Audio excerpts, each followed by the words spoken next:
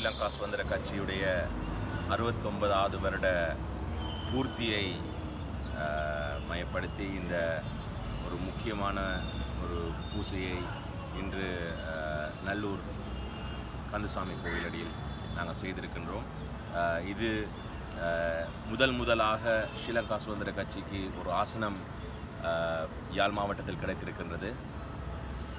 இந்த அரசாங்கத்தில் ஸ்ரீலங்கா சுதந்திர கட்சி இணைந்து எங்களுடைய மக்களுடைய அனைத்து தேவைகளையும் பூர்த்தி செய்வதற்கு துணை நிற்க வேண்டும் இறைவனுடைய அருள். அதே நேரம் ஸ்ரீலங்கா சுதந்திர கட்சி பெரும் பழமையான கட்சி. அந்த கட்சி ஊடாக இந்த அரசாங்கத்துடன் இணைந்து மக்களுக்கு தேவையான அனைத்தையும் பூர்த்தி செய்வதற்கு இறைவன் துணை இருக்க வேண்டும் என்று சொல்லி